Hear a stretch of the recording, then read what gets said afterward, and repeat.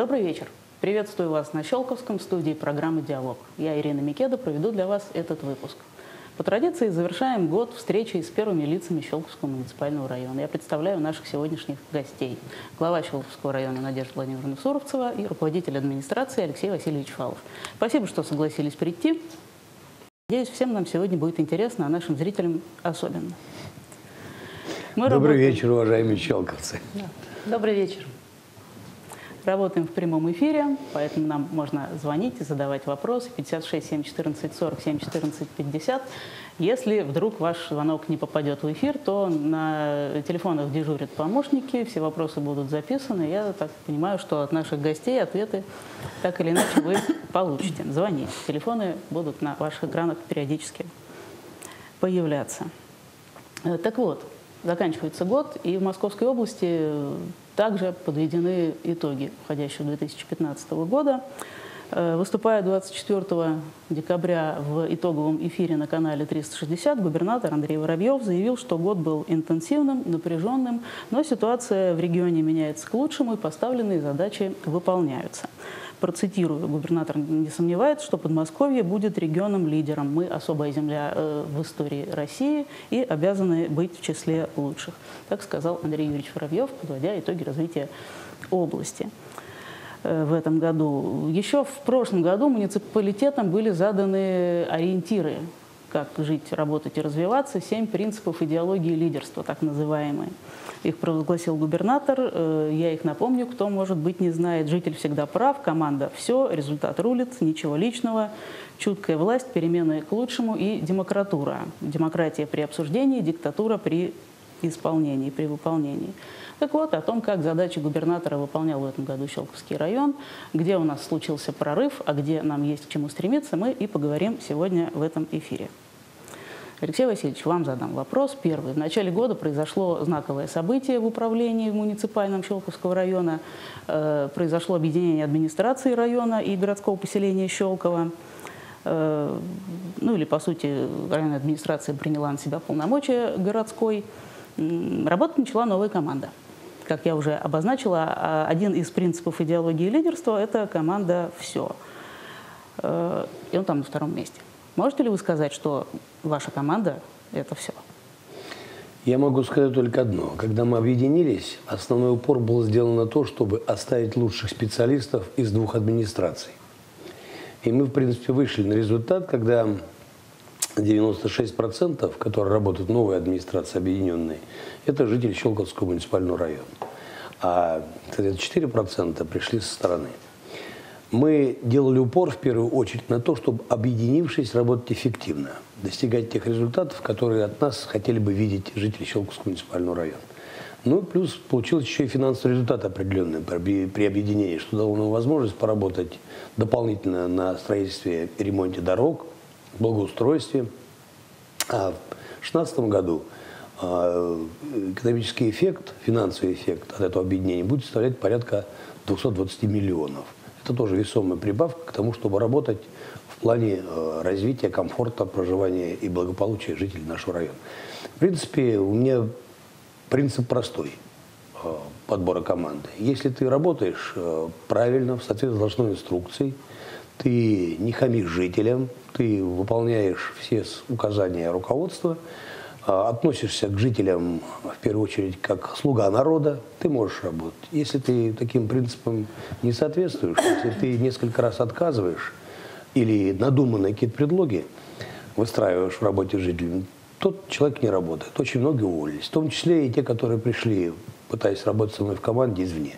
Я не разделяю свои, чужие, варяги, местные. Должны быть люди, которые работают на людей. Это основной принцип формирования команды. Пока и я не думаю, что команда это работает так эффективно, как хотелось бы нам. Потому что идет непростой период притирки. Вы представляете, после Нового года мы объединились. Потом была такая ситуация, когда работают одновременно практически две администрации. Потом из них как бы выкипировались те, которые останутся в основном составе. Это давало определенный такой, ну, как бы сказать правильно, э, дисбаланс, э, сбой в работе. Но сейчас вот сформировался тот костяк, который будет работать дальше. Я думаю, что будет работать успешно. Уверен, что будет работать успешно. Я вам этого желаю искренне в 2016 году и в дальнейшем.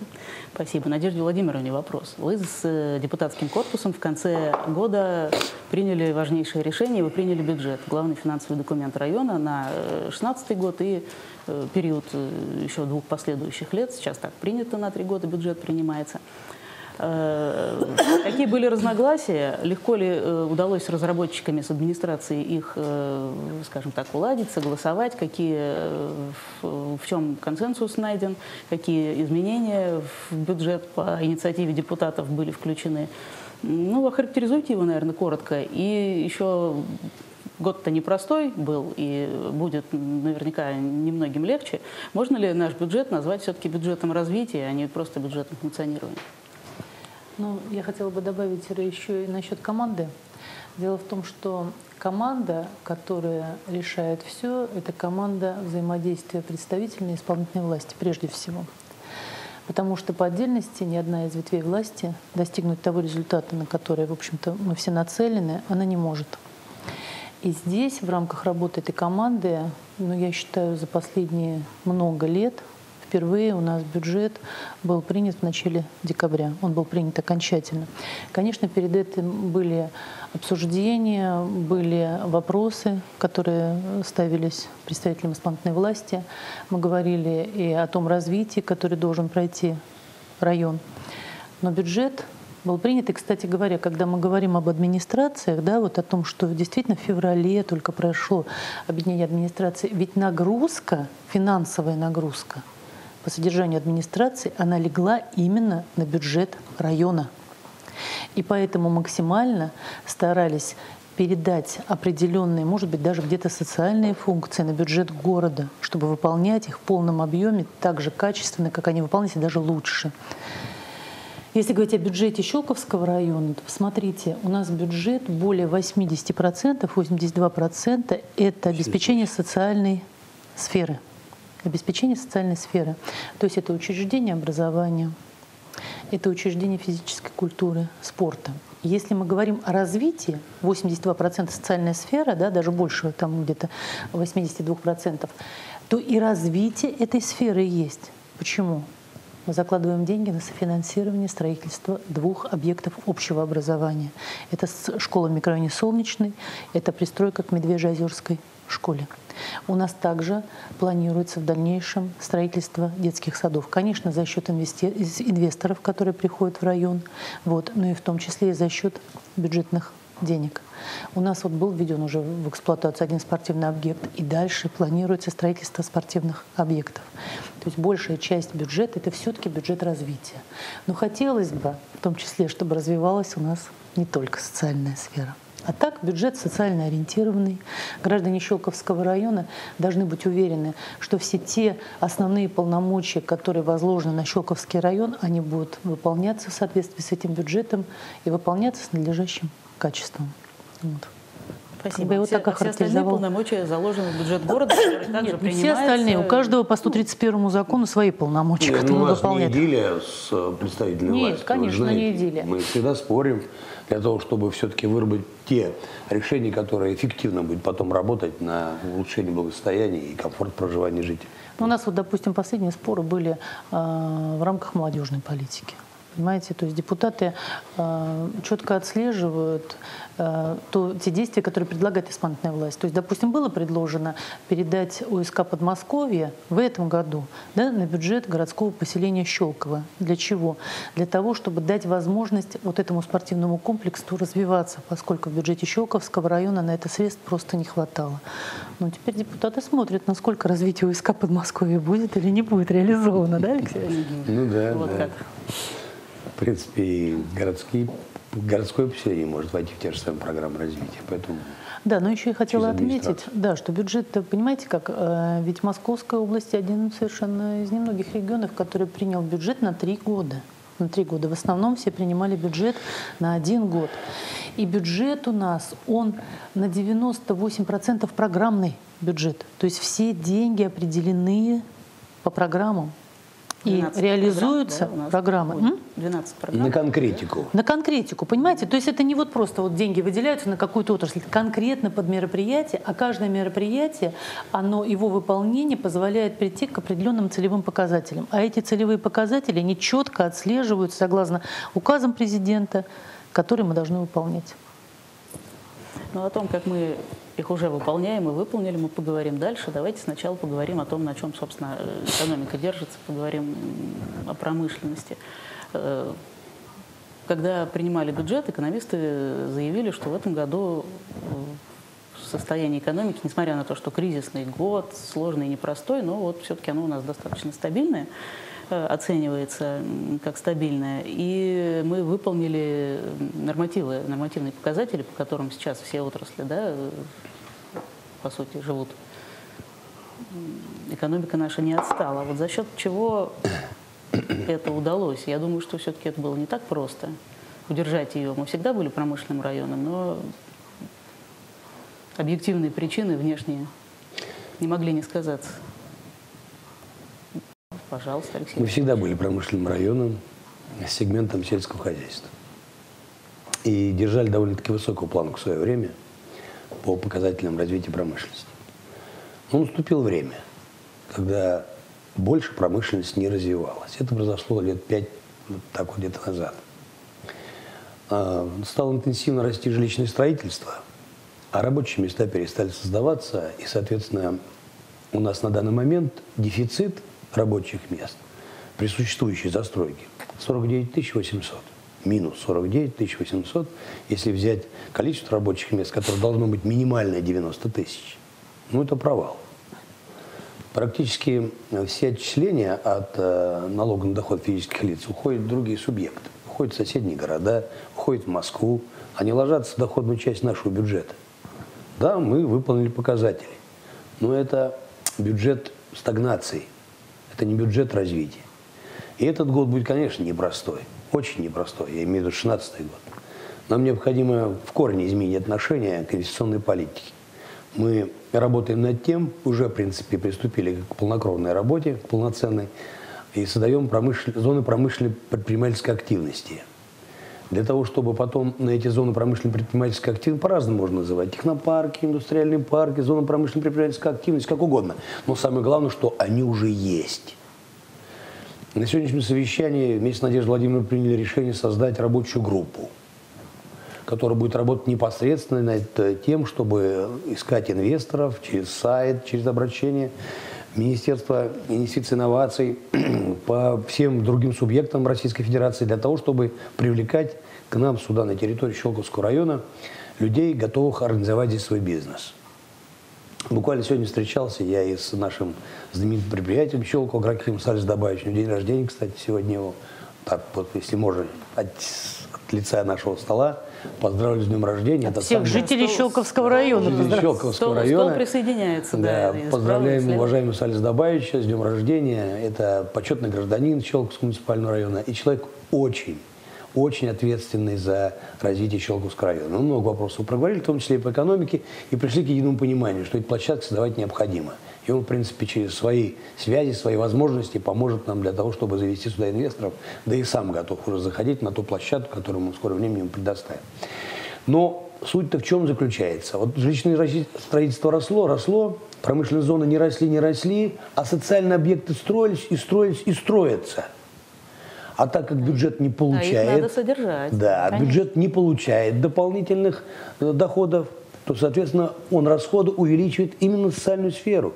Я с уважением отношусь к Надежде Владимировне. Она долго здесь работала. Это единственная сфера, которая, будем сказать, неранима на территории Щелковского района, и она достойно выдержала все потрясения и подошла вот к тому этапу, как мы видим, в таком работоспособном состоянии.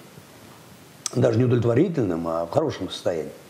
Если брать, по примеру, там, с другими муниципальным образованием. Но ей нужны постоянно деньги. Их надо искать. Поэтому будем работать над тем, чтобы не только существующие крупные наши предприятия развивать, не только развивать средний и малый бизнес, не только давать возможность всему, что придет в Щелковский район, свободно развиваться, но и искать таких крупных инвесторов, еще дополнительно, более крупных, может, чем у нас есть. И, в принципе, такая работа ведется. У нас есть определенные наработки. Вот нам помогает э, депутат Московской областной думы Шапкин Владимир Николаевич, который плотно работает с такими крупными инвесторами. Я думаю, что они тоже зайдут сразу после новогодних праздников на нашу площадку, и работа развернется. Во всяком случае, я считаю, что 2016 год будет годом экономического прорыва. Мы должны поднять свои рейтинги, поднять показатели, доказать всему Щелковскому району, что наш основной упор в работе именно сделан на то, чтобы создать рабочие места и усилить а, развитие экономики через развитие промышленности. Если не ошибаюсь, у нас э, уже, собственно говоря, вот запланировано на 2016 год э, два э, объекта, которые предполагают создать, да, это Валента э, Фарм и... Валент фармацевтика, то, то, да. что мы сейчас показали, это компания «Газпром Космические системы» строит здесь свой спутниковый завод. И депутаты на этих предприятиях, в частности, побывали. Да? Вы возобновили в этом году выезды на предприятия, чтобы, наверное, изнутри посмотреть, как они развиваются. Надежда Владимировна, вот поделитесь. Алексей Васильевич рассказал, как оно должно быть, а вы расскажите, как оно там сейчас есть. Э, Ваши впечатления какие? Вы в конце года очень много таких экскурсий совершили. Пожалуйста, ну, здесь скорее, да, здесь скорее не экскурсии, это скорее такие э, рабочие поездки депутатского корпуса, знакомство с предприятиями, а, беседа с руководством. Мы обсуждали проблематику, которая есть, а, вопросы, которые мы можем решить, допустим, на местном уровне, или те вопросы, которые нужно обобщить, и, может быть, какие-то а, такие законотворческие инициативы выносить на другой уровень, на уровень Московской областной думы, на уровень Государственной думы. Вы знаете, предприятия, которые мы посещали, они нас, в общем-то, порадовали. Порадовали в рамках чего? В рамках того, что, во-первых, происходит такая создание внутренней кооперации. Вот сейчас мы видим предприятие Техноколор, да, которое производит замечательную краску, э, мебельные краски, лаки, э, пользующиеся спросом на, в общем-то, на всей... Э, Конкурентоспособную... Да, на всей территории России, в Беларуси их закупают. Почему? Вот оно Почему это предприятие да? было создано? Потому что у нас достаточно большой мебельный кластер здесь, на территории Щелковского района. И закупались такие э, лаки и краски в Италии в основном. Все, пожалуйста, заместили. Сейчас мебельщики сами закупают и сами производят. Вот мы посмотрели Валента Фармацевтика, вы уже говорили, великолепный корпус, они его запустят где-то к июлю месяцу, они должны его пустить уже в эксплуатацию. Вот. Предприятие стильной кухни, вот Раникон предприятие, которое мы увидели. А, что важно? Во-первых, не сокращаются рабочие места. Вот здесь как раз Алис Добаевич показывает свое предприятие, свои лабораторные корпуса, где они исследуют болезни растений. То есть очень интересно объемы, которые выпускаются данным предприятием Агрохим. Так вот, а, сокращение рабочих мест нет. Социальные пакеты предоставляются то, что смотрели депутаты. Производство полностью модернизируется, вводятся современные линии. То, что сказал Алексей Васильевич, нам необходимо развивать предприятия всех сегментов малого бизнеса, среднего бизнеса, крупного бизнеса. Для этого администрации проводится большая работа, но и депутаты в рамках э, ну, такой, я бы так сказала, не только просветительской деятельности, не только изучения, но и работы с другими какими-то сегментами стараются эту работу активизировать. Сейчас это самая главная задача. И вот мы тоже анализировали, вы знаете, Ир, какой идет перекос? Вот нам, наверное, Алексей Васильевич, и вам, да, и мне приходится порой отвечать на вопрос. Вот почему уже так, почему уже не сделали? Самое ну, плохое обсуждать то, почему же не сделали. Надо делать. Надо сейчас делать. Да, ситуация сложилась так. Ситуация сложилась так, потому что... Вот почему, вот я извините, что прервусь, да? Почему произошло объединение администрации города и района. Ставились разные задачи. И когда район, неся бремя нагрузки социальной сферы на себе, говорил, ребята, надо производственные парки, надо приводить бизнес, город был заинтересован в том, чтобы велось, в общем-то, да, строительство жилищное. Различные ставились цели. Сейчас цель одна. У нас достаточно жилья, у нас достаточно... Благодаря губернатору огромное ему спасибо, что он взял в свои руки, по крайней мере, ту проблему, что у нас теперь жилье сдается социальными объектами. Но нам нужно решать вопрос, за что это все содержать. Да, созданием. Вот. Создание индустриальных ну, парков, промышленных парков, зон. А самое главное, знаете, Создание определенной такой инвестиционно привлекательной среды в Щелковском районе. А ведь это зависит очень от многого. Не только от транспортной логистики, но и от само, самих взаимоотношений внутри общества, которое есть в Щелковском районе. Ну вот мне кажется так. Вот у нас депутаты, они по предприятиям как бы ездят, набираются там опыта, получают информацию определенную. У них совсем другой взгляд на существующее положение и совсем другое отношение к администрации. Они понимают, что только вот вместе мы можем создавать будущее для того, чтобы появились новые рабочие места, новые производства, запускались дополнительно земли в сельхозоборот. То есть мы понимаем, что это совместная работа. Депутат, он смотрит, контролирует, как бы анализирует и выдает свои определенные как бы, посылы э, исполнительной власти, а исполнительная власть и свои использует возможности, и плюс еще как бы дополнительная информация от депутатов. Это дает свой эффект, свой положительный результат. Спасибо. Меняем тему, а может быть и не меняем. Э, мы в прямом эфире, напоминаю, 56 7 14 40 7 14 50, наши телефоны, можно звонить. И у нас есть звонок на линии, давайте послушаем. Здравствуйте, кто дозвонился нам? Слушаем вас. Здравствуйте. Слушаем. Меня зовут Надежда Юрьевна. Я бы хотела поблагодарить Надежду Владимировну, Алексея Васильевича с э, тем огромным трудом, который велись в этом, в этом году, ту огромную работу, которую вы проделали. Хотела бы э, вас поздравить с наступающим Новым годом, пожелать вам благополучия, успехов в вашем нелегком труде. И, э, если возможно, э, вопрос. Скажите, пожалуйста, что предполагается э, в 2016 году по открытию новых рабочих мест в Челковском районе, чтобы снизить маятниковую миграцию? Второй вопрос по благоустройству. Опять-таки, заметно, как хорошел наш город. Хотел бы дальнейшего развития в плане благоустройства, узнать поконкретнее, что предполагается.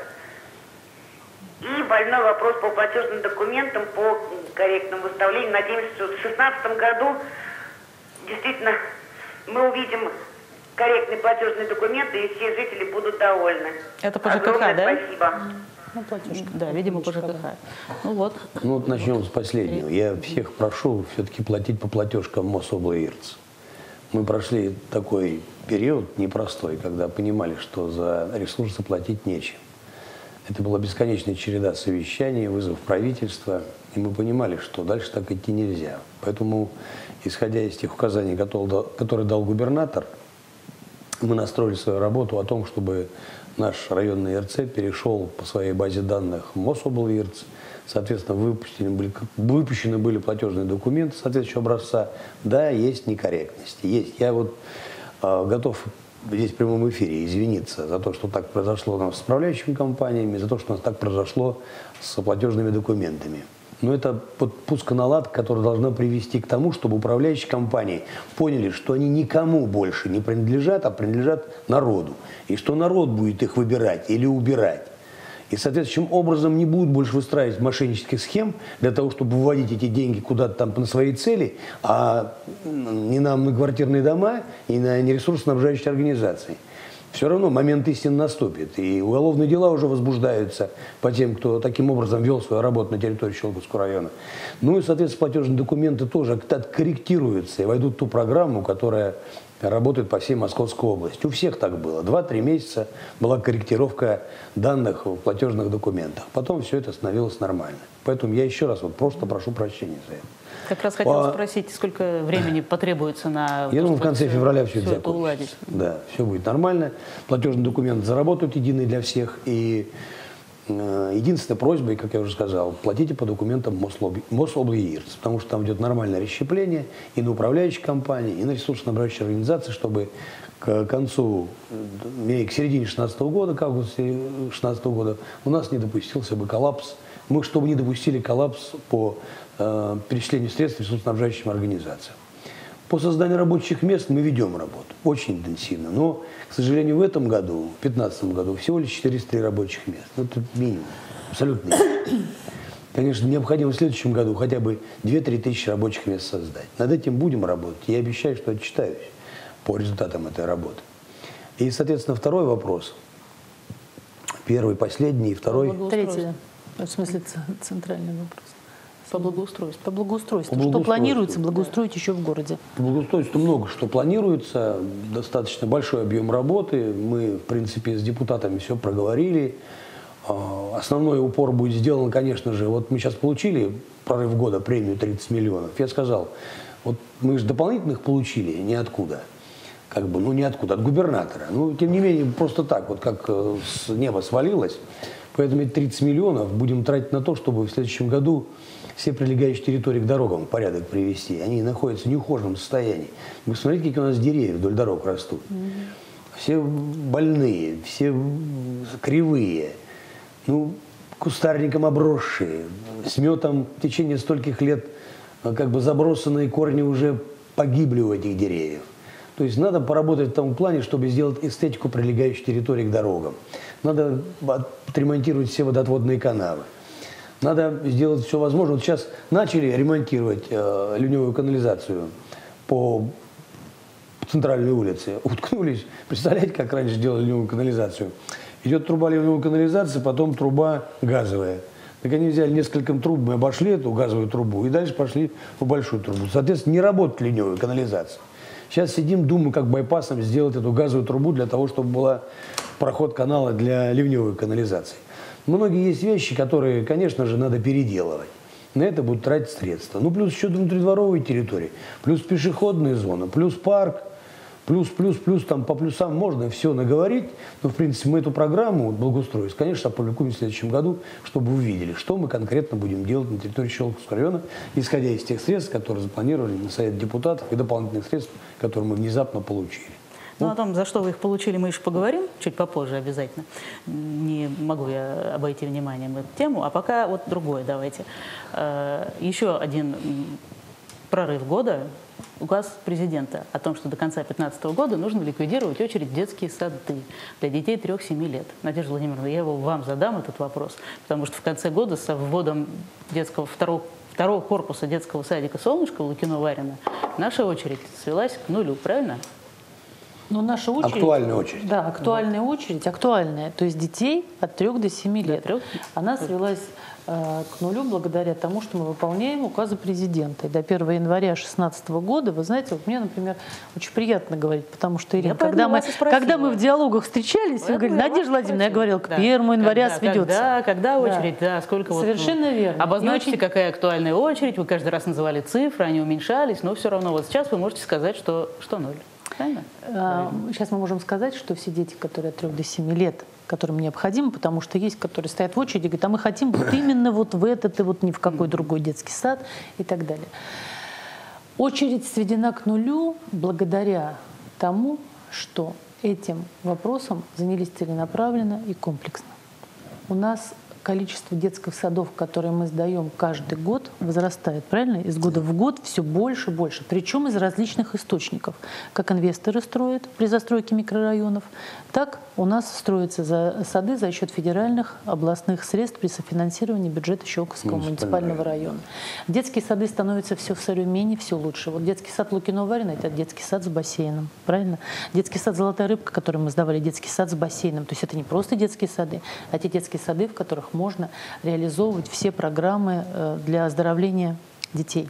А мы вот показываем как раз солнышко второй. Да, он да, да. называется вторая очередь. На самом деле это отдельно стоящий Нет, вы знаете, садик, как это не вторая получается. очередь, это комплекс. Кстати говоря, очень интересная мебель в этом детском саду. Надо инвестору сказать спасибо. Он так подошел с душой к тому, чтобы покупать мебель в этот детский сад. А, Дело в том, что в рамках оптимизации тоже вопрос такой достаточно болезненный да, проходил. Ведь как много вообще прошло процессов в этом году. Понимаете? И говорить о том, что вот какие итоги, так много процессов реализовано. Процесс оптимизации – это когда один руководитель, у которого два здания. Вот одно здание 42-го детского садика находится, и вот второе здание совершенно новый корпус. Но руководитель там очень активный, Тамара Ивановна, которая может управлять и хозяйствовать даже двумя такими зданиями.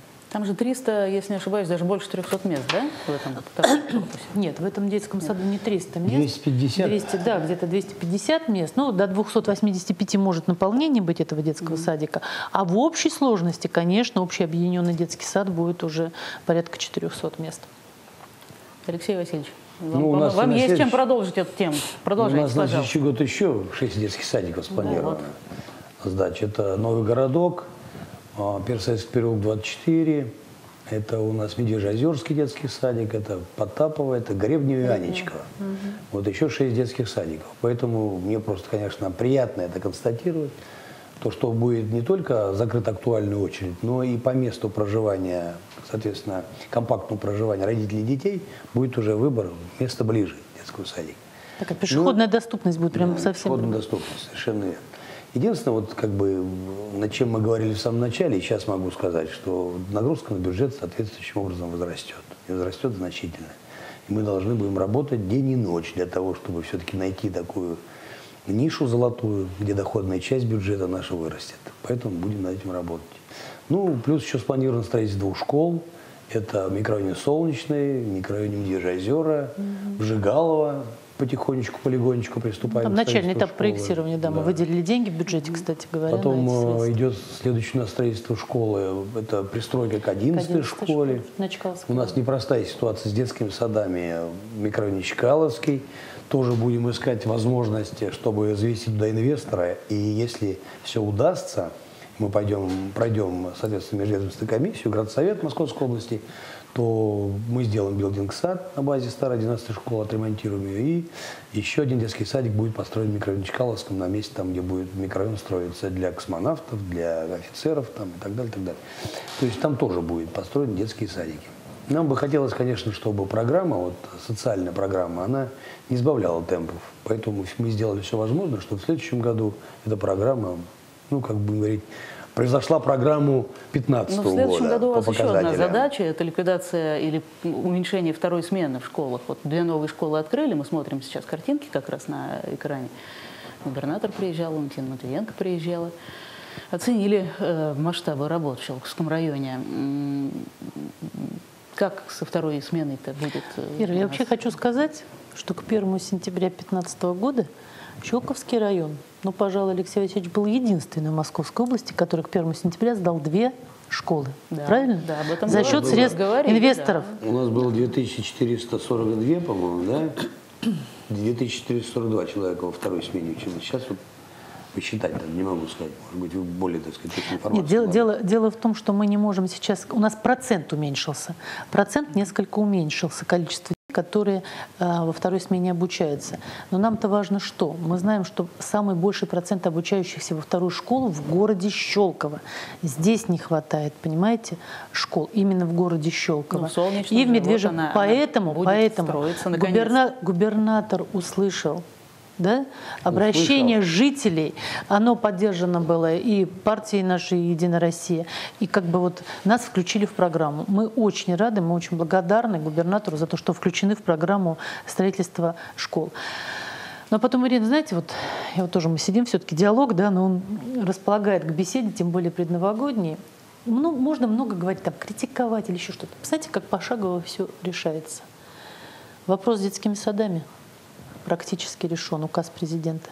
Сейчас президент, Госсовет собирает по вопросу общего образования, ликвидации второй смены. Поставлена задача губернаторам. Мы на местах эту задачу не просто готовы решить, мы ее будем решать. Правда, Алексей Васильевич? Да, обязательно. Всеми возможными силами и средствами. Инвесторы все прекрасно э, понимают и строят школы.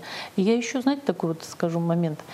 Социальные объекты – это в том числе тоже рабочие места – количество детских садов, это тоже рабочие места. Но дело в том, что здесь как бы не производится какой-то продукт, здесь дается услуга, да? А нам нужно, Нет, чтобы все-таки... производит самый главный Я продукт, говорю услуга. Ну, а, я знаю, да. о каком продукте я говорю, Алексей Васильевич. Так точно. Вот. Как бы... Я говорю о том, здесь что... будущее России. Да, что здесь самое главное, мы фактически ну, формируем будущее нашего Щелковского района, будущее нашей России. Поэтому и бюджет такой социальный, поэтому и столько средств. Вот. Поэтому и построено столько всего, и, и еще будет построено. Да, и поэтому Это делается будет. все, и поэтому, как бы там, как бы Алексей Васильевич не говорил, что вот, где же там промышленность, а я знаю, что на самом деле все, что касается социалки образования, он не Вы может знаете, сдержаться и для нас, для делает. Всех, для нас, для всех это большое удовольствие делать для наших детей те условия, которые они достойны в такой стране. Я вам даже больше скажу. Знаете, мы сегодня, допустим, утром встретились перед совещанием. Первый вопрос. Казалось бы, надо нам обсудить там вот э, рабочие места. Мы говорим, так как там горка-то построится, а какая она будет? А с подсветкой. Понимаете, потому что мы знаем, что надо эту горку на площади Ленина сделать такой, чтобы семьи во время зимних каникул приходили, общались, понимаете, чтобы это было центром притяжения хорошего семейного новогоднего отдыха. Центром, вот. да, семейного Понимаете, отдыха. семейного отдыха, потому что семья это самое главное, что есть. Когда откроют горку-то? Уж Новый год послезавтра. 31 Ага. Все как положено. 31 31-го Алексей Васильевич, сегодня я на рабочем месте. Наверное, Сегодня ночью съедем с горки. с Карелии, остатки льда, и как бы закончим. Карелии льда уже не будет, да, остатки льда? остатки льда из Карелии. Я имею остатки льда для строительства горки. Не пугайте так, в Карелии, как же без льда-то. Я понимаю, у нас снега не было долгое время, да и сейчас Ну не особо. Поэтому она у нас э, потаяла чуть-чуть. Да Пришлось ничего, вот, э, дополнительный лед заводить. Там построили городок еще из этого льда, так что не такой уж он дополнительный, его хватило. Э, Хорошо, ждем горку. А пока, уважаемые гости, я предлагаю прерваться на несколько минут, э, посмотреть полезную рекламу. Потом через три минуты мы в студию вернемся и продолжим наш диалог с руководителями Щелковского муниципального района.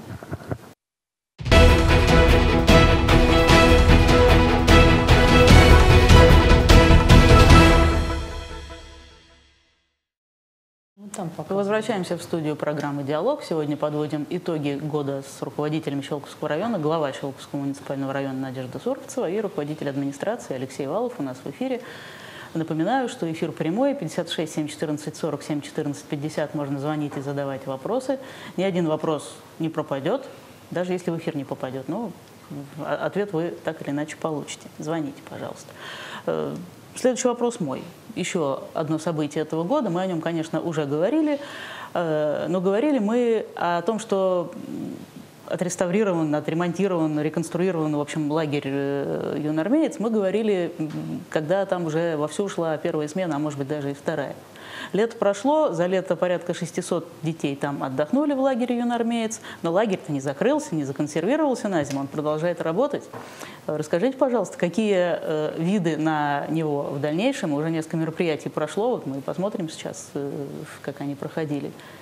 Будут ли там детские смены также в каникулы организовываться или что-то еще? Ну, у нас видно этот лагерь только одни. И у Совет депутатов, и исполнительной власти. Все, что мы делаем, или как по-другому сказать, все лучше принадлежит детям. Дополнительные мероприятия, которые там проводятся, они тоже важны. Но для нас самое главное, конечно, устроить детский отдых. Вы же знаете, сколько раньше было пионерских лагерей вокруг Щелкова и вообще в Щелковском районе. И все они рабочие были, во всех были дети. А тут, вот, благодаря работе администрации, был только один – лесная сказка. А, Соответственно, там тоже определенный был сегмент э, детей. И мы, когда я пришел сюда, с Надеждой Владимировной первым делом занялись тем, чтобы восстановить юнармейцев. Ну, Непростая была работа. Мы благодарны меценатам, те, которые бескорыстно вложили средства в реконструкцию, строительство и, соответственно, косметический ремонт этого лагеря. Была проделана огромная работа, просто огромная в короткие сроки. И я еще и благодарен строителям, те, которые там работали. Но мы в установленные сроки к началу первой смены юнармеец сдали. И там порядка 600 где-то детей за летний период оздоровились. Я думаю, что и дальше там так будет продолжаться. Соответствующим образом мы э, провели ряд там встреч э, по дополнительным элементам, которые мы будем делать в следующем году. Уверен, что они тоже будут построены для того, чтобы как можно больше было спортивных э, площадок, как можно больше было спортивных сегментов на территории этого лагеря, для того, чтобы дети более активно развивались. Но раньше там, вот, например, не было бассейна, теперь он появился. Для того, чтобы дети купались, мы вычистили Суворовские пруды, которые были в заросшем состоянии и представляли собой жалкое зрелище. То есть мы там сделали целую площадку для того, чтобы детский отдых, ну, любого, любого возраста детского отдыха был комфортным и интересным, самое главное. И, в принципе, мы сделали все возможное, чтобы это состоялось. Надежда Владимировна хочет явно что-то добавить. А вы знаете, у нас так интересно акценты сместились. Смотрите, Алексей Васильевич про детей рассказал, что самое главное для детей. Хотя я добавлю, что смена у нас зимняя есть в этом лагере, да? И путевки там уже, так сказать, проданы, но еще, по-моему, есть. Можно еще обратиться в комитет по вопросам Каникулы образования будет, да? и в лагерь. Каникулы там, да. Но что очень важно, ведь у нас в юноармейце за этот период, после того, как летний оздоровительный отдых закончился, и до того, как в осенние каникулы туда дети заехали, прошло очень много мероприятий. Во-первых, наш районный молодежный форум. Прошел э, форум работников культуры. Прошел семинар с депутатами всех депутатских корпусов всех поселений – то есть это те мероприятия, которые проведены были на базе, реконструированной базе, которая теперь принадлежит Щелковскому муниципальному району. А самое главное, что проведя эти мероприятия, мы и знакомили жителей Щелковского района, депутатов, работников культуры, да, молодежь с тем, какая замечательная у нас есть база.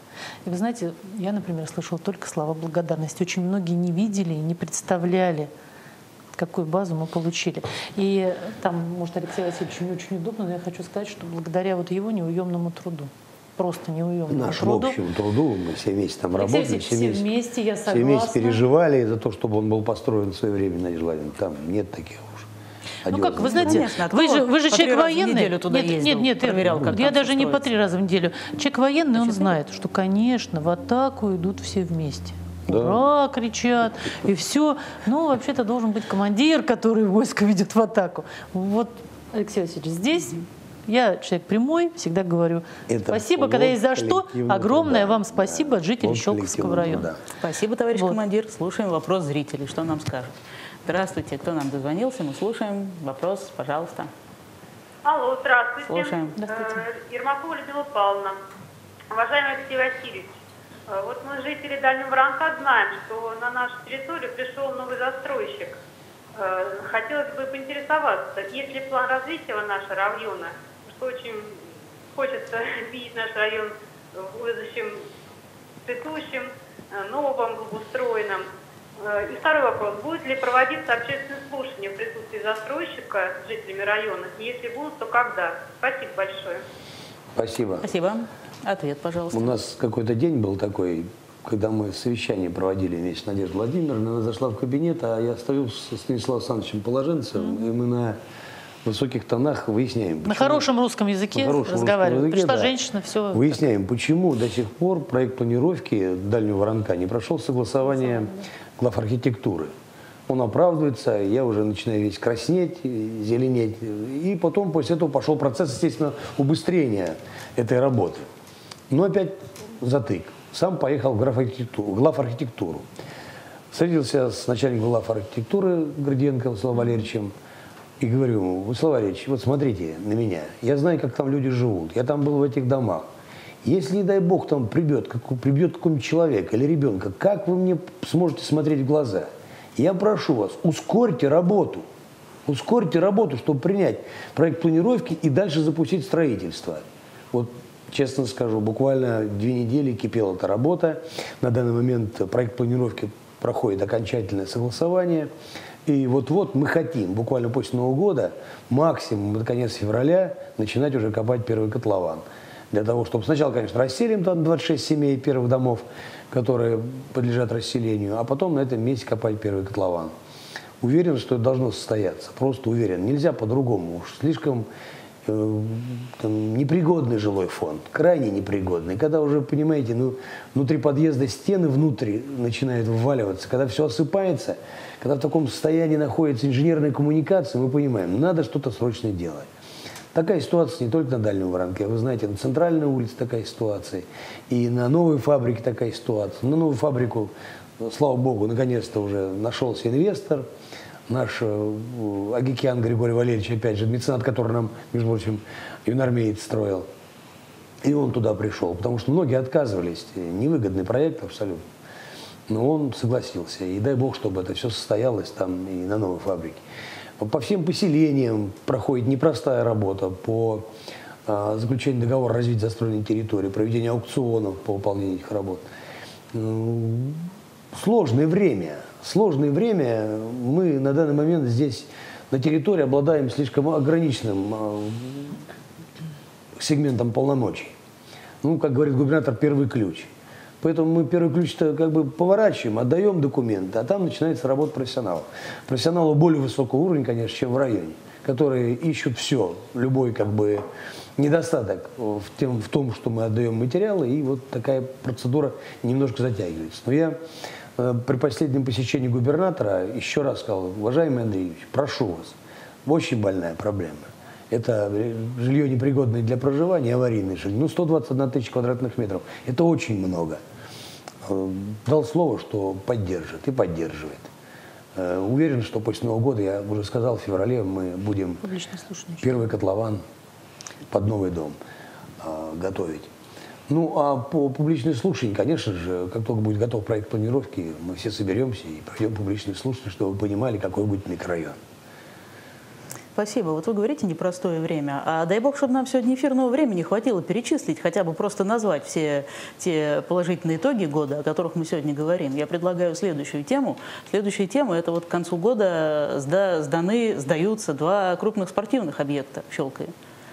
Уже сдана ледовая арена и сдается ФОК на Дальнем Воронке на улице Центральной с залом для единоборств.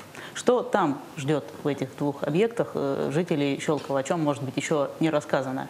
ни нами в эфире, ни другими средствами массовой информации и соцсетями. Надежда Владимировна, я думаю, что она очень внимательно смотрела на строительство этих Нет, мне почему-то кажется, что неоднократные визиты сюда звезд фигурного катания, они неспроста. Мне Ирина, так кажется. Знаете, вот ты говоришь, допустим, да, какова ситуация и так далее. Вот сегодня несмотря там на предновогоднее да, некоторое настроение, совещание, которое было у нас да, традиционное 10 часов, и там был задан вопрос непосредственно на зам руководителя администрации, который курирует социальную сферу. Юрий Николаевич, мы буквально, да, когда? В понедельник открыли ледовую арену. 20... Как дела? 2 и 25 ну, в общем, короче говоря, вот буквально еще, не, еще неделя не прошла, на днях мы открыли ледовую арену. Как дела? Он сказал, Надежда Владимировна, Алексей Васильевич катаются полностью все время у нас забито для посещения граждан. Но кроме этого, у нас там обязательно возобновиться, потому что очень хорошо, кстати, в сюжете у вас прозвучало, что у нас в Щелковском районе на хорошем уровне готовили специалистов или фигуристов, да, и это действительно, вот я сама помню, я выросла в Монино, у нас не было ледового катка, у нас была маленькая коробочка, и мы все там маленькие занимались фигурным катанием. Там это, это садились на пистолетик, кто мог, там ласточку ну, делали вот и так далее, который... и тому подобное. И вот сейчас, сейчас вот, вот в этом Это сюжете... привозные пока, да, вот катаются, не наши. Ну, это Своих те, надо... которые не тренируются, это Здесь есть жители Щелковского района, но у них не было места для тренировок. У них базы не было для базы не было. Соответственно, тренировались в других местах. Конечно, у нас а прекрасная, база есть. прекрасная детская юношеская спортивная школа. Там просто будет открыто отделение будет фигурного 10 катания. групп э, фигурного катания, 10 групп э, хоккея. Хоккея. То есть порядка 300 человек. Виноват, 600 человек будет заниматься. 300 там, 300 там. А по ночам простым смертным просто покататься. А, Вы знаете, пожалуйста, мне... да, да, ночная хоккейная лига, все что угодно. Да вообще просто покататься, когда mm-hmm. погода не позволяет. Видите, какая у нас зима? Слава богу, мы вот наколдовали. Нет, социальный сегмент будет обязательно бесплатный. Алексей для Васильевич, дедушек, для бабушек. Слава богу, мы для... с вами наколдовали снег и мороз да, да, да, да. в субботу. Вы пока только мороз да, наколдовали. Да, да, только наколдовали. Снег вы еще не да, наколдовали. А, ну, ну, чуть-чуть еще, выпало. Ну, мы, что? мы еще, подождите, Дед, Дед Мороза вызовем вы завтра. Совсем от снега вы, вы еще учитесь, я поняла. Нет, я просто, знаете, о чем хочу сказать? Вот у нас иногда идут э, споры в сетях наших интернет-сообществе идет спор, вот некоторые нам оппонируют, говорят, что такое ледовая арена, это вообще прошлый век, 19-20 век, да? да, нужно нам э, зеркало воды, бассейны нам нужны. а я считаю, что в Щелковском районе, где не было ни одного крытого катка, получить вот в городе Щелков, да это просто вот мечта, которая работает. Кстати, у меня тоже так обращался один ко мне, как бы, ну не знаю, так, в общении в Твиттере, говорит, Надежда ну когда же откроют? Я думаю, боже, как же с датой-то не промахнуться? Говорю, ну до 1 января точно откроем. Вот открыли. Вот. Ну, хорошо, и давай, тот, давайте, тот фок, который, нет, тот фок, который на центральном. именем Владислава Третьяка, Александровича да. Третьяка прижала Ирина Слуцкая, Ирина Роднина, и все вот, как бы высказывают свое желание работать у нас, когда увидели mm-hmm как бы сооружение, Я увидели говорю, класс сооружения. Неспроста приезжали. Да, неспроста приезжали, поэтому здесь будет и школа хоккея, и школа художественной. Фигурное катание. Фигурного катания, да. И поэтому здесь все будет. Ну и близится у нас открытие на центральной, да, около э, нашего парка, Ну. еще одного фока игровых видов спорта. Вот уже практически Обидно на выходе. Чуть-чуть, что перед, да. да, перед каникулами То, не что смогли, провалили паркетчики, поставку паркета. Вот это обидно. а все остальное Ну, готово. лучше, лучше сделать хорошо, тоже, но чуть поэтому- запоздать, мне кажется, чем ну, потом да, переделывать. Я сказал, главное качество. И вы знаете, очень важно, что вот в принципе депутатский корпус, кстати говоря, городские депутаты, они очень ответственно относятся к тому, чтобы было равномерное распределение вот таких объектов по городу Щелка. Потому что сейчас получается вот в этой части города у нас есть бассейн около шестой школы и гимназии, у нас есть теперь да, э, ФОК. У нас есть ОСК Подмосковья для легкоатлетических, ну, там, борьбы, Ну, там гимнастики, там многофункциональные. Там, массовых да, да. У нас э, с той стороны, получается, уже на центральной сейчас откроется многофункциональный игровой ФОК. И теперь, конечно, просятся у нас спортивные объекты на той части за рекой Ну, Клязьмы. что и будем планировать. Будем планировать да, обязательно. будем планировать.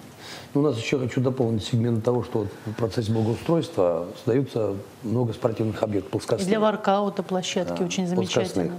Поэтому там есть возможность заниматься тоже. Не просто сидеть там на скамейке, семечки лузгать или пиво пить, а вот именно заниматься э, спортом, массовым спортом в дворах. И это программа Вот, будет продолжаться. знаете, что? Я еще хотела от социальной сферы вот немножко дойти. Ты извини, пожалуйста, может, я там план перебила. Но смотри, как интересно получается. Вот Мне чтобы, вас слушать нет, очень чтобы, чтобы жители понимали, вот какая колоссальная э, нагрузка по ветхому жилью в городе Щелково. Просто колоссальная, да? Наверное, вот мы здесь, как бы не прискорбно было по ряду стечения обстоятельств, на одном из таких вот э, мест э, не очень хороших. И нам необходимо вводить застройщиков, чтобы был снос ветхого жилья, чтобы строить жилье, соответственно строить, кроме социалки, еще ну, экономика не должна у этого застройщика тоже пострадать, да? Квартиры. И в то же время это увеличивает дефицит рабочих мест. То есть здесь вот такой замкнутый круг. Очень сбалансированно нужно подходить ко всем Совершенно вопросам. верно. Вот по проекту планировки, когда мы были у Гордиенко, начальник глав архитектуры, если мы введем все существующие проекты планировки, то мы добавим минус еще 41 тысячу. Представляете, это потому, чтобы ликвидировать ветхое жилье. Мы ликвидируем ветхое жилье, в то же время добавляется количество жителей, и Социальных плюс объектов, да, социальных, социальных объектов, объектов. мы еще больше нагружаем бюджет. Поэтому вот, Вот я этот говорю, баланс очень тяжело Год соблюсти. прорыва в экономике должен быть, просто прорыва.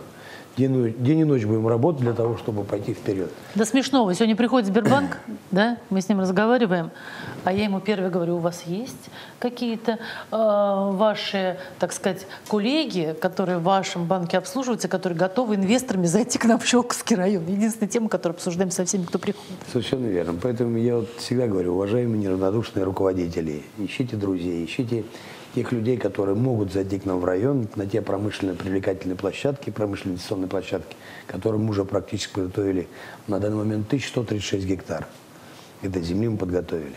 Поэтому нам желательно, конечно, чтобы все, кто может, все, кто имеет возможность, а в четверг а, в 10.30 у нас будет проводиться инвестиционный час каждую неделю. Каждую неделю.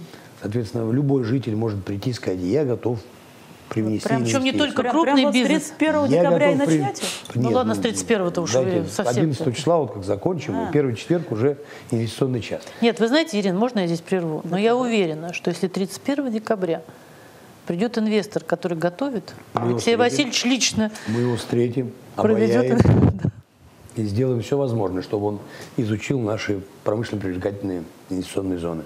Вы, Алексей Васильевич, когда говорите о том, что надо привлекать инвестиции, о том, что надо развивать экономику, э, вот на первое место, ну или на одно из первых мест э, проблему логистики транспортной всегда выносите. Я э, хотела бы тоже об этом поговорить, о развитии дорожной сети в Щелковском районе, но у нас вопрос сначала, давайте послушаем. Слушаем, здравствуйте.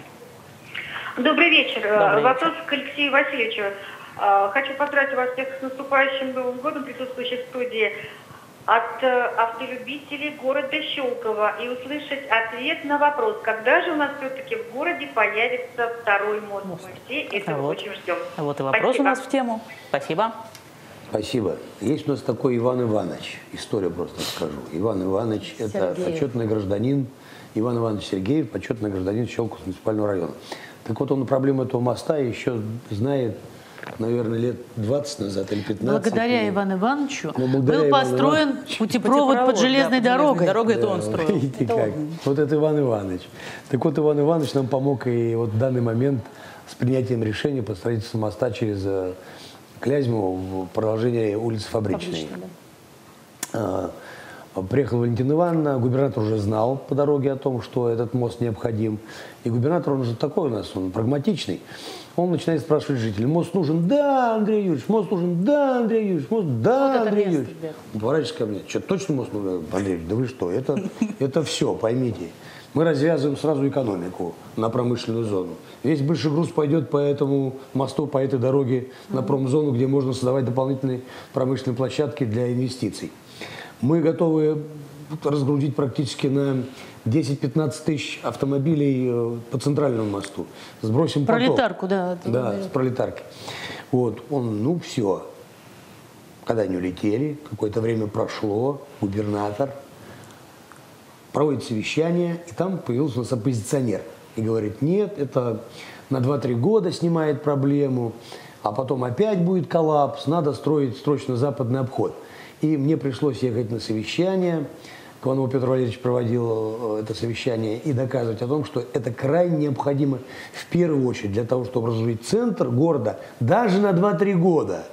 А в перспективе большегрузная транспортная логистика пойдет через э, промышленную зону и будет выходить на Фряновское шоссе, минуя центр города.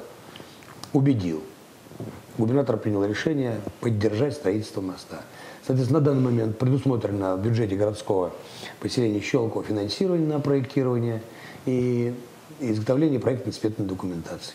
Про, имеется в виду проект планировки территории, будет изготовлен и проект сметной документации на строительство моста. А сроки- остальную сроки сумму, можете остальную назвать? сумму будет давать правительство Московской области. Сроки назвать, когда? Нет, в 16-м уже В Проектирование. 2015 году, может быть, даже к строительства. концу года мы построим. Прям построим. Может быть. Ну нет, ну это вот мы зависит тоже, от мы тоже рассчитывали, Да. что у нас ФОК вот, э, многофункциональный откроется до Нового года. Подрядчики подвели. Подвели подвоз материалов. Вот поэтому мы же как бы понимаем, что у нас есть желание, у нас есть возможности, но все упирается в человеческий фактор. Но еще, кроме всего прочего, Ир, главное, знаешь что? Чтобы каждый на своем месте очень оперативно и качественно выполнял свою работу. Вот, допустим, городские депутаты, независимо от партийной принадлежности, они приняли решение и в бюджете заложили средства на софинансирование по этому проекту. По этому проекту, Вот, да. вот сейчас вот показан вот этот вот железнодорожный мост. Это вот э, ориентир, Понимаете? да, где вот он примерно должен Да, где он пройти, да, вот приблизительно, на улице ну, да, проект будет там левее, Да, правее, но самое главное, что вот здесь. Теперь мы перед этим с депутатами районными, с городскими вышли на место, с архитектором посмотрели. Да?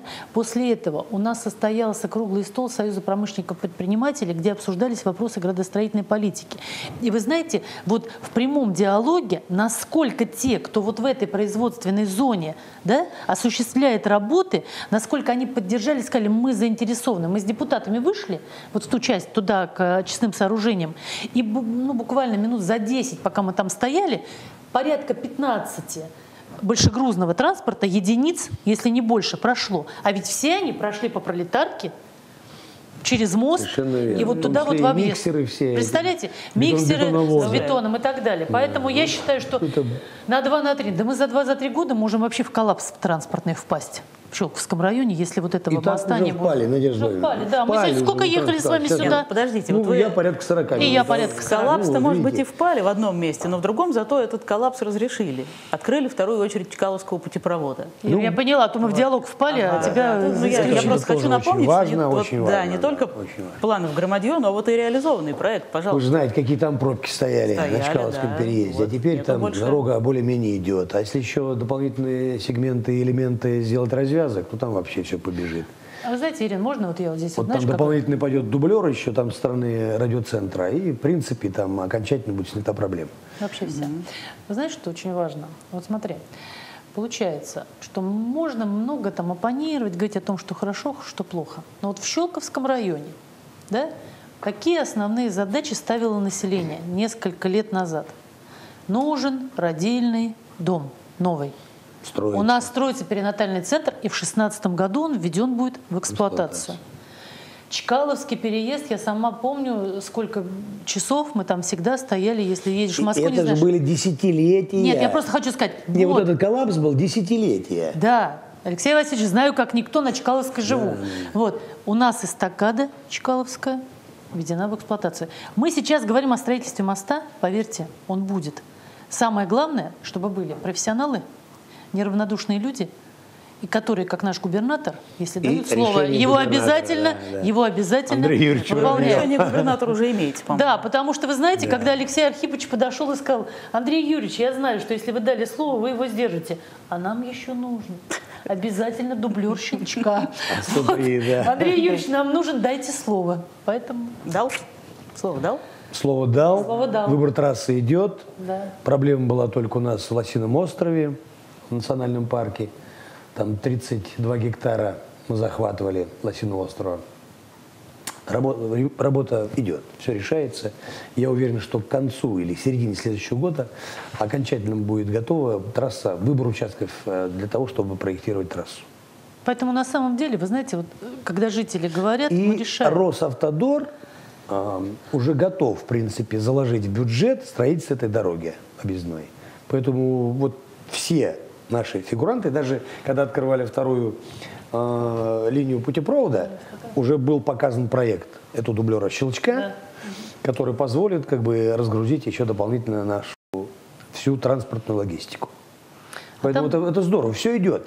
Главное, теперь все это идет в более короткие сроки. Если раньше десятилетия принимались решения по строительству путепровода, то теперь принимается, ну, 2-3 года. Это все-таки поменьше гораздо, да не то, что гораздо, а сильно меньше. Позволю себе, уважаемые гости, сообщить вам, что мы с вами уже второй час пошел, как, как А мы готовы. Продолжаем разговор? Да. Отлично. Продолжаем. Тогда давайте, Продолжаем. Да, давайте тогда Продолжаем. поговорим о Продолжаем. благоустройстве. Всегда на это жалобы возникают у людей. Вот здесь вот нам двор не делают, здесь нам то не делают, все не делают. А мы сейчас э, докажем, и в том числе визуально, что делают. И Надежда Владимировна с коллегами-депутатами знает об этом как никто, потому что очень много у вас также было выездов по всему району, по разным поселениям, смотрели, как там благоустраиваются детские площадки, дворы, детские городки. Вот поделитесь, пожалуйста, впечатлениями. 77, да, если не ошибаюсь, дворовых территорий благоустроено комплексно. По было. району. Да, по району в, По этом, району. в этом году. Как, как вы оцените эту работу? Много, мало? Надо больше? Положим, 10%. Или Нет, нет. э, Алексей Или мы и так Васильевич, выше я, головы я, же, я же все равно педагог по первой специальности, Правильно, как мне сын говорит, ты сейчас начнешь это объяснять от царя Гороха. Вообще, на самом деле, сейчас очень тяжело работать в исполнительной власти. Люди делают очень много. И отчитываясь, когда, да, о том, что 10% дворовых территорий согласно э, Закон должно- да, области закон должно- Московской области должно быть благоустроено, должно быть благоустроено в соответствии со стандартами. Мы с депутатами вышли и посмотрели качество этого благоустройства, потому что отчитывались очень много. Мы посмотрели, что сейчас совершенно другой уровень этих площадок детских. Все они идут с современным покрытием идут уже формы, безопасные формы. Я помню, как э, наш Госадминтехнадзор заставлял срезать качели, которые не соответствуют и так далее. Это идут современные. Посмотрите, какая То есть великолепная уже нет площадка. оборудования. Конечно, конечно. Причем это все, это все есть в различных поселениях, не только город Щелково. Мы проехали практически все поселения, везде посмотрели, посмотрели, насколько качественно исполнено и закон Московской области, и указания губернатора, и то, что мы отчитались, действительно проделанной работе. Качественной проделанной. Но где-то, знаете, были какие-то шероховатости, но опять же это сразу устранялось теми подрядчиками, которые выполняли эти работы. Мне кажется, причем, знаете, очень интересно, что вот сейчас мы смотрим, это э, двор, который благоустраивается в соответствии со стандартом. То есть это не только детские площадки, это и освещение, это информационные щиты, это зоны озеленения, это, это парковки, это асфальтовое покрытие дорожек. То есть у нас вот такие есть комплексно благоустроенные дворы практически во всех поселениях.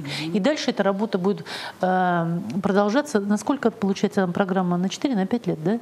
Программа будет до тех пор, пока все дворовые территории не Ну, у будут нас в благоустроены. Щелковском районе сколько У нам нас лет? столько, сколько будет как бы Если я правильно помню, Наталья Викторовна Черная обещала дворов. в следующем году плюс 10%. плюс Не, 10% ну это будет, да. будет больше. То Потому Это что у нас недоработки с этого года остались, то, что мы не доделали, по-моему, там будет больше гораздо. А вы знаете, самое главное, что у нас все главы в этом заинтересованы. Они прям вот это, ну, как бы воспринимают как собственную такую ответственность очень четкую. Ну, есть, конечно, злопыхатели, сразу говорю. Вот мы когда благоустраивали площадь Ленина, а депутаты выделили на ее благоустройство 40 миллионов э, рублей. Соответственно, после того, как мы ее закончим благоустраивать, э, экономия оказалась 20 миллионов рублей. Тем не менее, уважаемые депутаты, в том числе и наша уважаемая Наталья Николаевна, везде начала говорить, что мы потратили 40 миллионов рублей. Поэтому вот сейчас я под э, прямой эфир говорю, что потратили всего лишь 20, а 20 ушли от сэкономленных средств на другие цели, и их, мы их вернули в бюджет. Поэтому работа такая э, благоустроительная, что всем кажется, что на ней что-то воруют. Но если кто-то у меня будет воровать, то вот я же говорю, работать не будет. Надо экономить, надо делать больше, надо э, экономией с качеством, конечно же, симбиозировать, а по-другому нельзя. Надо каждую копеечку считать и вкладывать ее в то, чтобы людям жилось комфортнее и Кстати, благоприятнее. Алексей Алексеевич, посмотрите, какая замечательная площадь получилась. Все люди только благодарность говорили. Я не правда? представляю себе ни одного человека, который бы сказал сейчас, вот зачем вы это сделали, вы сделали не так. Хотя я могу сказать, что даже вот между нами были споры, я приходила и говорила, боже, ну где же будут останавливаться транспорт, который привозит, допустим, там в кинотеатр 5 звезд, да, А, кстати, приезжает и кстати. так далее и тому подобное. Ну, Я говорю, уважаемая Надежда Владимировна, людям нужна площадь по одной простой причине. Это место всеобщего притяжения. Они будут на ней собираться, они не будут гулять, им будет приятно на ней находиться. А машины найдут себе место, потому что там вон там площадка, там создадим еще дополнительные парковочные места. Можно поподробнее? Знаете, что- такси ушли Алексей оттуда. Васильевич, поподробнее, пожалуйста, о том, вот, потому что это часто тоже спрашивают, где это предполагалась парковка, и разработчики дизайна площади этого проекта, они говорили, что будет парковка, там, где перинатальный Смотрите, у центр. нас в следующем году еще. уже будет э, делаться, благоустроиться улица Шмидта, э, улица Парковая. Парковая и улица Зубеева. Практически там уже асфальтировка прошла. Вот там предусматриваются дополнительные парковочные места. Пешочком можно пройти. Можно. Я думаю, что люди не рассыпятся. Вдобавок там будет еще, вы знаете, одна набережная у нас сейчас, я не знаю, как вы ее назовете. Это уже, наверное, какое-нибудь публичное слушание. Да, да, да, пойдет, какой-нибудь надо, да, Вот это, та будет набережная. что потом- означает вы Потом набережная Серафима жители, Саровского. жители Щелкова. Жители Щелку, я-то приезжаю, уезжаю у вас, как бы, а вы здесь живете. Ну, я какое-то время приезжаю, пока вы не определитесь со следующим кандидатом. На что такое жизнь? Что такое жизнь? Это то время, которое вы здесь проводите или спите дома? Жизнь – это дорога и работа. Да, и чуть-чуть поспать. Вот у нас получается одна набережная, вторая набережная, которая соединяется под мостом. Потом мы проходим сюда, на площадь, и потом по парковой пошла пешеходная зона. Споры идут. Молодежь в социальных сетях со мной спорит, лично спорит, говорит, нет, не надо, машины должны ездить. Ну, не, не должны машины ездить. Мы должны придумать такую логистику транспортную, чтобы машины по парку улицы не ездили. Пешеходная. Слушайте, а вот городу Звенигороду пешеходная была дали, и была дали премию «Прорыв велосипедная. года» за тогда то, мамочки, тогда мамочки. зону. Представляете, какой у них будет э, воз- возможность оттуда с колясочкой пройти туда и потом в парк. Не знаю, Это вот же здорово. Мы приехали с коллегами в Казань. Вот э, летом ездили. Пешеходная улица, красивая, с красивыми скульптурами. Люди ходят, отдыхают, фотографируются, сидят в кафе. Понимаешь, в любом достойном, уважающем себя городе должна быть пешеходная улица. Совершенно верно. Вот. Это раз. И, и второе, что я хочу сказать. Вы знаете, какой был самый большой аргумент в наших спорах? Я же тоже опасалась, я выражала мнение жителей, которые обращаются по поводу реконструкции площади. Мы сидели потом с Алексеевичем, да мне дошло, ну неужели центр нашего города должен быть большой стоянкой? А получалось, что так? А теперь у нас центр города – это место, где люди гуляют, отдыхают, катаются на горке, если это зимой, правильно? Э, Отдыхают э, в знойный полдень около фонтанов. Или вечером парочки могут уединиться на лавочках и говорить о возвышенных чувствах. Сейчас о возвышенных чувствах поговорим с телезрителем. Нам дозвонился зритель, человек. Давайте послушаем, о чем будет вопрос. Здравствуйте, слушаем вас. Здравствуйте. Здравствуйте. Э, Вопрос к Алексею Васильевичу. Алексей Васильевич, у нас э, это микрорайон Чкаловский, я Евгения Афанасьевна. А, От имени жителей Чкаловского микрорайона говорю, у нас сегодня очень плохая обстановка по мусору. э, значит, э, мусоровывозящие э, компании просто-напросто в некоторых местах освободили ящики от мусора. Мусор лежит на дороге. А вот, ну, я думаю, примите меры какие-то действенные, потому что я в вас верю, и у вас бываю часто на планерках. Спасибо, поняли вас. Произошла Ответ, пожалуйста. неприятная ситуация, когда мусоровозящие компании решили забастовать перед Новым годом. Это бывает у некоторых наших коллег.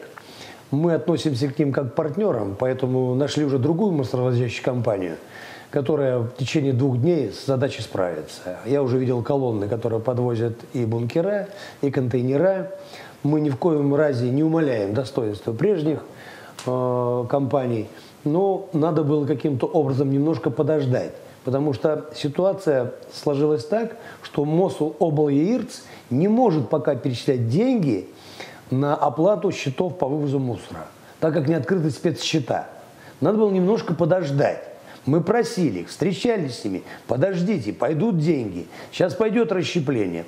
Нет или давать перед Новым годом, или мы как бы не будем больше убирать мусор. Ну, наше увещевание, к сожалению, не привели к тому эффекту, который хотелось бы. Поэтому зашла другая мусоровозящая компания, которая в короткие сроки справится с проблемой. Но я прошу прощения, что так получилось. Прошу прощения еще раз вот уже всех жителей, которые сейчас испытывают неудобства и дискомфорт. Ясно, спасибо. Вот э, раз тему ЖКХ подняли, позволь себе ее продолжить. Вы, Алексей Васильевич, придумали горячую линию, которая себя зарекомендовал хорошо в Щелковском районе, потом появился областной портал «Добродел». Вот это вот взаимодействие э, жителей с э, властью таким образом, э, насколько оно оправдано, насколько оно помогает, и, может быть, нашу горячую линию это тоже на более высокий Горячие уровень вывести. линии, доброделы, открытый портал, они необходимы. И все соцсети, и Инстаграм, и ВКонтакте, и в Твиттере – все, которые жители мне пишут, я первым делом стараюсь на них э, реагировать. Реагировать правильно, устранять. Все-таки, конечно, администрация несет ответственность за все, практически за все. Но те недобросовестные исполнители в виде управляющих компаний, те недобросовестные, недобросовестные исполнители в виде мусоровозящих организаций, вообще вот этот такой вот на данный момент, будем говорить, эпоха перемен в ЖКХ, она, конечно, затянулась затянулась по одной простой причине. Я в самом начале говорил, что управляющие компании, которые работали раньше и были аффилированы кому-то или конкретным людям, или группам людей, они просто, по большому счету, на свою работу не обращали внимания, относились к ней неудовлетворительно. Я готов был более резкие выражения применить здесь, но тем не менее надо было так работать, чтобы они поняли, что они ранимы, что мы можем их поменять, мы должны их поменять или воспитать. Тогда будет процесс. Но это не делается сразу. По опыту скажу. Три года мне ушло в Химках, чтобы наладить эту работу. Наладить работу так, что когда мы уходили, вот когда пришла новая администрация Шахова, у нас в ДЭЗе была экономия порядка 100 миллионов. Прибыль порядка 100 миллионов. Мы за эту прибыль и за эту экономию ремонтировали подъезды текущим ремонтом, делали благоустройство за счет внутренних э, средств. То есть там шла целенаправленная работа, что уже мы вошли в программу капитальных ремонтов, что каждые 20 лет готовы были ремонтировать каждый подъезд и ремонтировали, а текущий раз в 5 лет. Отремонтировали очень много лифтов, там практически у нас не было такого убожества, как эти разбитые почтовые ящики. Все было отремонтировано, входы были все отремонтированы. То есть программа работала, когда работают управляющие компании не по мошенническим схемам, а по открытым схемам для жителей. И вот задача, конечно, чтобы у нас в Щелково появились такие управляющие компании, которые открывались бы по любому запросу. Надо пакет документов, пожалуйста, пакет документов. Надо, пожалуйста, вам сайт этой управляющей компании. Смотрите, непростая работа, сразу скажу. Я сказал, три года у меня ушло, когда я начал с начальника управления, потом зам по ЖКХ стал в Химках, и как эту работу проводил. И думаю, что и здесь эта работа придет к такому же результату. Только времени меньше. Только у нас, времени, у нас да. не три года. Сейчас времени нам меньше дается гораздо и требует да. больше эффективности, потому что есть рейтинги, показатели, есть оценки нашего труда, поэтому приходится работать еще более интенсивно. Я хочу привести пример, в том числе видеопример. Э, опять-таки, к тезисам губернатора возвращаясь, житель всегда прав и результат рулит. Покажите, пожалуйста, картинку недавнего вашего выезда на Пролетарский 4, Пролетарский 4 корпус 1. Э, почему хочу показать именно этот случай? Мы очень много показываем, как вы проверяете ту или иную работу, тот или иной объект, выезжаете, ругаетесь, заставляете, убеждаете, все в итоге делается. Вот выехали, вот поговорили с э, людьми, значит, вы пришли, там все, они с вами поговорили, ну, будем считать так, лайки собрали, все хорошо, уехал. На этом съемка закончилась. Но немногие знают, что тем же вечером, вечером того же дня, вы еще раз уже без комиссии уже сами поехали на этот дом проверить, как э, выполняется ваше поручение.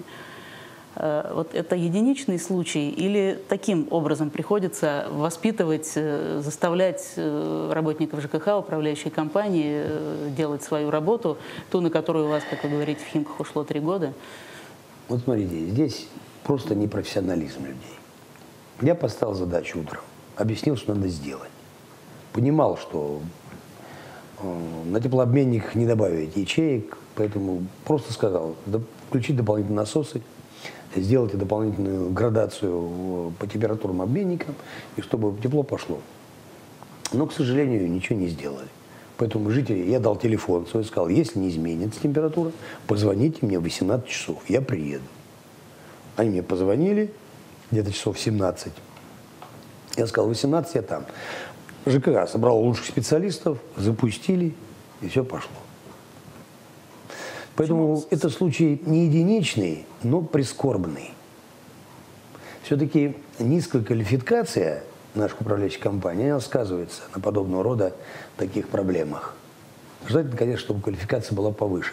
Но, тем не менее, тот человек, который меня обманывал утром, почему-то скрылся, его там не было. Инженер, который отвечал за работу этой аппаратуры, теплообменника. Поэтому вот как есть. Спасибо. Надо... Вообще беда от того, когда люди непрофессиональны и равнодушны. Вот эти Что два да? качества надо искоренять. Это непрофессионализм и равнодушие. Вот и все. Хорошо, спасибо. Вот все-таки мне режиссер подсказывает, что надо нам скоро завершать уже наш эфир. Угу. А я еще обещала же, что мы вернемся к теме прорыва года, к той самой премии, которую, как вы сказали, она вот откуда-то неожиданно появилась, от губернатора на самом деле, которую вы направили на благие дела. 24 декабря вручалась премия, губернаторская премия «Прорыв года». Было 12 номинаций всего, это среди всех муниципальных образований, и Щелковский район оказался в одной из них. Номинация называется «Гражданский диалог» и вручается э, премия за взаимодействие с институтами гражданского общества. Я думаю, что наша встреча в эфире сегодня – это тоже одно из проявлений этого гражданского диалога. А также вы, э, и Надежда Владимировна тоже, вы одними из первых, наверное, если не первыми в области, встретились с блогерами, нашими щелковскими. Ну, в первой пятерке, Да, да теми, кто э, активничает в социальных сетях, на, на благо, надо сказать, активничает. Э, прошел э, форум идеологии и лидерства, прошла масштабная встреча во Дворце культуры с жителями. Тоже все это проявление гражданского диалога. Какой эффект от этого взаимодействия и саму премию-то вы как вообще расценили? ее получения? Я вот так могу сказать. Когда мы первый раз встретились с, председателем ДНТ СНТОНТ, у меня было полное отторжение. На них никто не обращал внимания. А к их проблемам относились наплевательски. Я не смею, конечно, критиковать прежних моих коллег, но все-таки это такая очень, а, очень эффективная часть гражданского общества, очень полезная часть гражданского общества – она порядка 10% нам приносит э, ВВП по сельхозпродукции. К ней, конечно же, относиться. Да плюс там люди такие все активно, неравнодушные. И вот прошел год. Совсем другая как бы, атмосфера, совсем другое отношение. Мы многим очень помогли. А, ввели в правое русло работу с ними, оформили все документы, оформили участки. По всем проблемным вопросам, которые касались конкретных э, товариществ, конкретную юридическую помощь оказывали. Э, даже на суды уже ходили, зная, что мы их поддержим на судах, а не будем отторгать их требования. Потому что они правы, они столько лет работают на этой земле и так далее. Если взять мои встречи с жителями, я всегда встречаюсь как, ну, как товарищ. Если с бабушками, как сын. Если с молодым поколением, ну, как отец. У меня же тоже дети, внуки. Как, и я понимаю, что нельзя по-другому. Власть это, это должно быть рабское существование перед людьми у власти. Вот я пришел служить народу, а не народ служить мне. Я должен делать все возможное, чтобы люди почувствовали, что у власти не только есть как бы кабинет, машина там э, и другие атрибуты ее, а именно человеческое отношение ко всем проблемам, которые существуют. И мои коллеги, и совет депутатов наш, мы все нацелены на то, чтобы не только сформировать диалог в гражданском обществе, но и полное взаимопонимание в нем – чтобы мы понимали все нужды и запросы нашего общества и шли навстречу ему, делали все возможное. Да, много обращений, да, много жалоб, да, не успеваем по многим вопросам отреагировать. Но если у нас есть время рабочее, есть нерабочее время, мы работаем только над тем, чтобы помочь людям, в первую очередь, поддержать их, потому что их больше некому поддерживать. Вот над этим работали, поэтому, скорее всего, там увидели, какие-то рейтинги составили и сделали нам такой оценку прорыв года по гражданскому диалогу. За активную жизненную как бы, позицию нашей власти. Вот. И представительной, и исполнительной. Ира, Вы вот тоже если, да, как к диалогу, от диалога никогда не уходили? Я никогда не уходила от диалога. И могу сказать только одно, что, вы знаете, можно говорить там премию, вручили, за то, не за то. Я же общаюсь с жителями, так же, как общаются с жителями депутаты. И жители сейчас в открытую говорят, да, есть повседневные проблемы, их надо решать. Но самое главное, что внутри нашего общества, внутри структур власти различного уровня, поселений и района перестало, э, перестал осуществляться какой-то антагонизм, какая-то борьба – Понимаете? Вот этого не стало. И поэтому власть в едином ну, как бы, в едином ключе, в едином порыве, хотел сказать, единым фронтом, думаю, господи, фронт — это борьба. Нет, в едином порыве она откликается на взаимодействие с обществом, с общественными организациями, просто жителями. Вот Алексей Васильевич в сетях, я в сетях. И естественно, что каждому отвечаешь, каждому хотим помочь. Естественно, помочь в законном поле, в правовом поле и в меру своих сил, которые возможны. Ну, я не знаю как. Поэтому я считаю, что в Щелковском районе это действительно прорыв. Это прорыв за многие-многие-многие годы, когда мы все вместе движемся в одном направлении, работаем над улучшением качества жизни жителей нашего района. Спасибо на красивой ноте можно было бы завершать, но у нас скоро Новый год. Мы не можем об этом не поговорить. И в том числе поговорить в том ключе, вот э, на экране появляются красивые картинки того, как город в этом году украшен к Новому году. Наверняка ведь был выбор э, деньги, деньги сэкономить или все-таки да, жителей порадовать? Что хочет женщина, то хочет Бог. Ну, Надежда Владимировна заказала, мы исполнили. Просили. Поэтому... А, Надежда Владимировна и наверняка медведь заказывал. Заказы выполняет. Знаете, Алексей Просил... Васильевич, Надежда Владимировна Просила... вчера, выезжая из Мунина, мужу говорю, слушай, давай проедем через Лосин-Петровский. Не могу, меня прям вот поддергивает. Неужели у них там что-то есть получше, чем у нас в городе Щелково и в наших поселениях? По Щелковскому давай заедем в Медвежье озера, посмотрим, как Владимир Николаевич украсил Канахин. Вспоминаю, буквально там года два назад на Новый год попали в Будапешт, и я по проспекту Андерша, когда шла и видела, насколько вот освещен. Ведь понимаете, когда зрительно мы видим вот такие вот образы новогодние, когда мы видим свет, вот такой добрый свет, у нас и в душах становится гораздо лучше.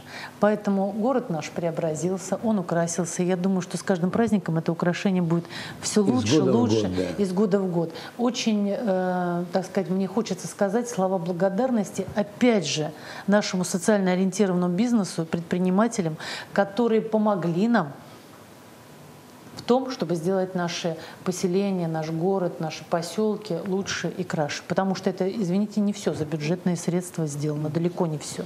Есть те, кто просто помогает. Посмотрите практически все наш... это сделано за небюджетные, за внебюджетные средства. деньги. За все практически средства. небюджетные. И я могу назвать, если позволите, конечно. Знаете, как ребятишки радуются, даже это прелесть. Наших главных да. меценатов. Это у нас э, Каракотов Салис рождения его Григорий сегодня. Валерьевич. Это у нас э, Игорь Викторович Ларин, Гольберг, э, Владимир Львович, э, фирма Recovery, Сурин. Сурины Кирилл. Кирилл, да. Вот, ну и еще ряд меценатов, которые вот бескорыстно подошли к тому, чтобы город украсился. Есть муниципальные предприятия, это электросеть наша, это водоканал наш.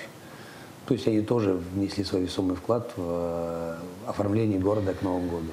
И вот, Ира, вот перед Новым годом могу сказать, вот совсем буквально, суббота-воскресенье, прошло шествие Дедов Морозов, пусть немножко под дождем, да, прошли э, елки главы района, главы города. Сейчас у нас социальные елки идут во всех поселениях.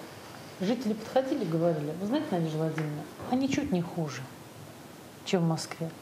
А даже, может быть, и лучше. И не нужно ехать с детьми.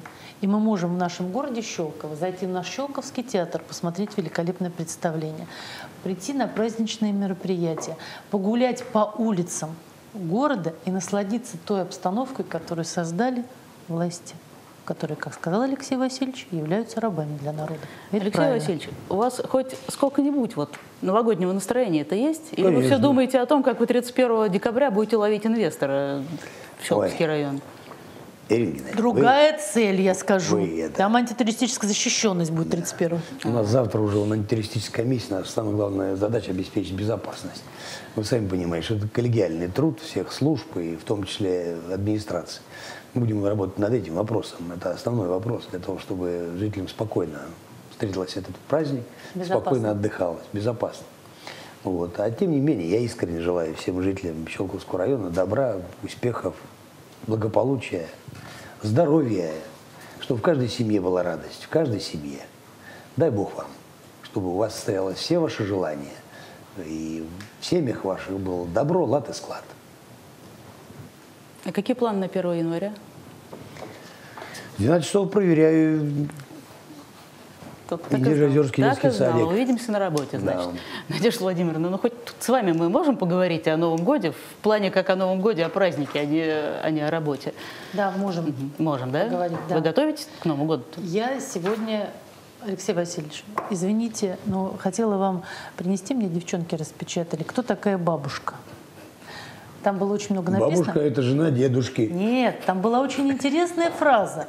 А кто такой дедушка? Это дедушка муж бабушки. Нет, дедушка говорит, это тоже бабушка, но только он играет с внуками обычно. Имеется в виду, что это люди, у которых есть свободное время для того, чтобы пообщаться с внуками. Вот. Но я к чему это говорю? Я как бабушка. Прежде всего поставила елку, потому что мне очень хочется, чтобы внучка подошла к большой елке и нашла там подарок. Поэтому я хочу, чтобы А все я жители видела, я видела вашу елку, вы ее в Твиттер выложили. Да, чтобы все жители Щелковского, района, кто не поставил елку, обязательно ее поставили, обязательно ее нарядили, обязательно порадовали я- чем-то я своих близких, какими-то подарочками, большими, небольшими сюрпризами. Обязательно придумали что-то новенькое на новогодний стол или, может быть, сделали традиционное какое-то блюдо, подготовили. Салат оливье, селедка под шубой. Я помню еще печень трески. э. У нас это традиционно. Вот. Вот, вот видите? Печень трески в яйца, помните? вот Да, да, да, да, да, фаршированные яички Да, да, такие. да. Ты смотри, у Я всегда говорю, мать, что вот ты мне вот эти три блюда обязательно на Новый Ну, год я сделала. уже говорила, что у нас традиционно на Новый год, поскольку все-таки пост идет, э, будет фаршированная рыба, это обязательно. Будем делать обязательно яблочный штрудель. Ну, и еще там ряд салатов, которые мы очень любим в семье, но оливье без него вообще, мне кажется, Новый год не происходит ни в одной семье. Поэтому давайте соблюдать традиции в семьях. Может быть, какие-то новые зарождать традиции. Обязательно загадывать желания, потому что я считаю, что новогодние желания, они сбываются. И всем здоровья, мира, благополучия и счастья. И очень хочется, чтобы каждый дом, а ведь Щелковский район, город Щелково, это тоже наш общий дом, был уютным, теплым, добрым. И чтобы там жила большая дружная семья, в которой радуются дети, в которых в которой уважают и уютно старшему поколению, и в котором стабильно, мирно чувствует себя среднее поколение. Вот хочется такую большую семью в Щелковском районе, честно говоря. А чтобы любовь была чистая, мы Да. должны работать день и ночь, чтобы в городе было все создано для того, чтобы... Когда салат оливье-то делать? Ну, это же жена будет делать. Ну, я, простите, у меня нет жены, можно я Ну, салат оливье? да, вам-то. Вам-то придется на семью поработать немножко. Да, Извините нас за такую шутку. Не будем забывать, Надежда Владимировна все-таки хозяйка в доме, поэтому ей-то надо обязанности жены на себя взять хотя бы ненадолго. Спасибо. Бабушки еще, бабушки. Про бабушку вы уже сказали. Там елка, подарки, все. Да. У Алексея Васильевича в 12 часов дня объезд, мы поняли, 1 января. У него есть жена, которая бабушка. Спасибо, Надежда Владимировна и Алексей Васильевич, за то, что пришли. Сегодня поделились хорошим, я надеюсь, настроением предновогодним с нашими телезрителями. Э, Я вам пожелаю, чтобы работа в Щелковском районе приносила вам радость, чтобы исполнялись все планы, которые вы задумали на- э, в этой работе. А всех, э, ну и вас, конечно, и всех зрителей с наступающим Новым годом. Всем добра и мира. Всех уважаемых щелковцев с, с Новым годом! Вот так вот у нас прошел сегодня диалог. Спасибо всем, кто нас смотрел. Всего доброго. Оставайтесь на Щелковском. С наступающим Новым годом.